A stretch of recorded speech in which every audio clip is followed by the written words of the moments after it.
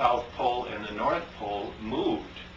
The North Pole, I believe, was in somewhere north of the state of Wisconsin, and the South Pole was out in the Pacific Ocean.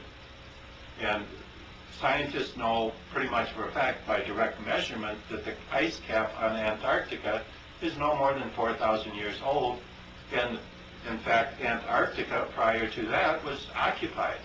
It was actually had animals and, I believe, uh, human civilization. Uh, Siberia was a tropical climate 4,000 years ago with mammoths.